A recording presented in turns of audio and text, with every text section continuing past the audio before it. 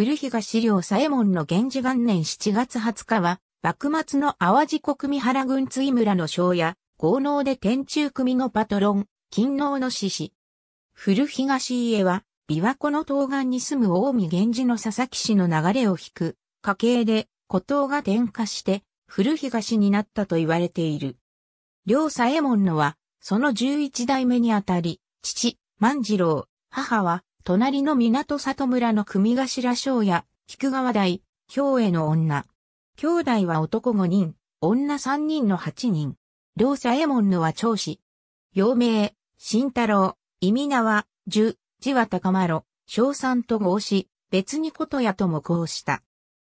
琴屋とは、古東へをもじったのである。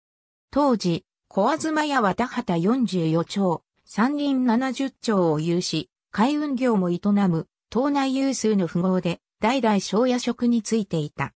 松本慶道や藤本鉄石とは婚意であり、日頃から勤王志士たちに財政的に援助を惜しまず、天中組挙兵に際しては資材をすべてつぎ込んだ。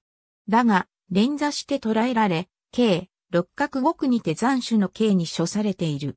彼や長州の白石正一郎のような特殊家の豪農、豪商階級の存在がなければ、明治維新は、なすことができなかったとも言える。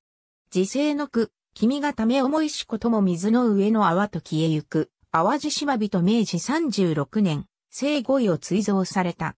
田尻左辺、増位所見伝蔵保番上特使増位年表 P19。ありがとうございます。